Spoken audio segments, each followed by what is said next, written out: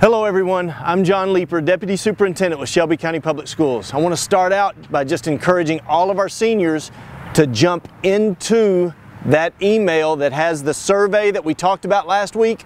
That is now out in your student email, not your personal email, your student email. The deadline is Tuesday at 12 o'clock noon. Please be sure that you get that done so that we can continue planning for what you want for your graduation ceremonies this year.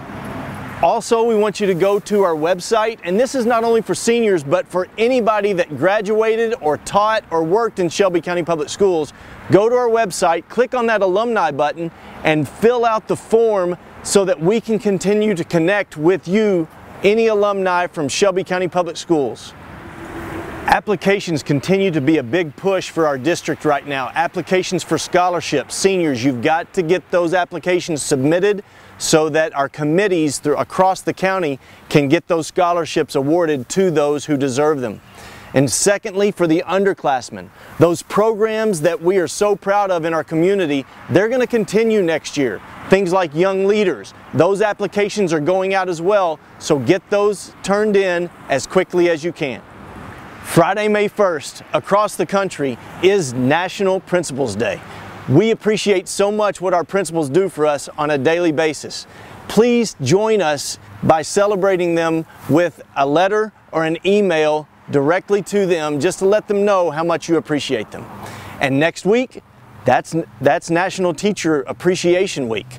Let's all join together as Shelby County and celebrate our teachers the only way that we can. Let's celebrate by sending them letters and emails, anything that you can to let them know how much you appreciate them. Students, today is May 1st. You finished May 15th. You've only got 11 instructional days left. You've got to finish strong, especially you seniors.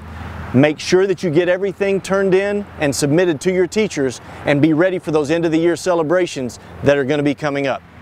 Oh, the sun shines bright my old Kentucky home. Tis summer the old folks are gay.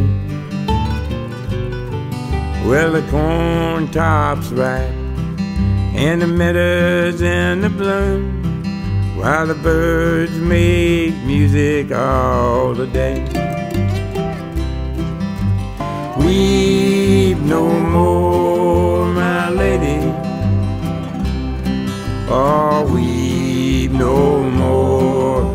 today